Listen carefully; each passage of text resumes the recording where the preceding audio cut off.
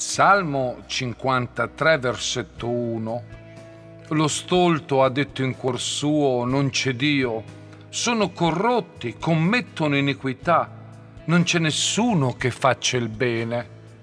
Un ammonimento hm, che fa paura perché di persone incredule, persone che si professano atee, ne conosciamo tantissime ma questo avvertimento quest'oggi vuole essere per noi che vogliamo cercare di fare bene l'opera di Dio, di capire bene quale sia la sua volontà per la nostra vita.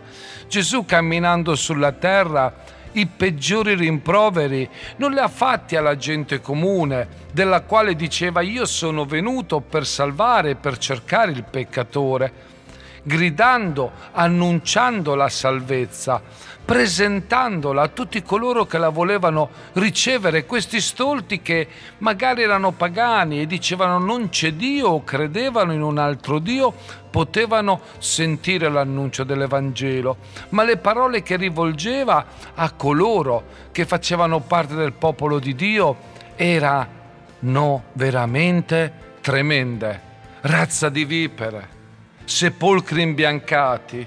Abbiamo bisogno di applicare una saggezza divina per non essere stolti.